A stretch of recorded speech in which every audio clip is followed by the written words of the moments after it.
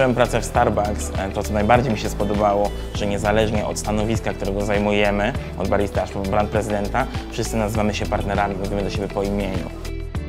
W swojej kawiarni prowadzę działkę People Managera, czyli zajmuję się rekrutacją, szkoleniami, rozwojem ludzi. W obszarze People Managera najbardziej lubię rozwijać ludzi, bo oprócz przekazywanej wiedzy, którą mogę im dawać, największą przyjemność sprawia mi obserwowanie ich samej własnej satysfakcji e, z wiedzy, którą nabywają. Typowy dzień Starbucks nie istnieje. Każdy dzień jest inny, każdy moment buduje nową historię.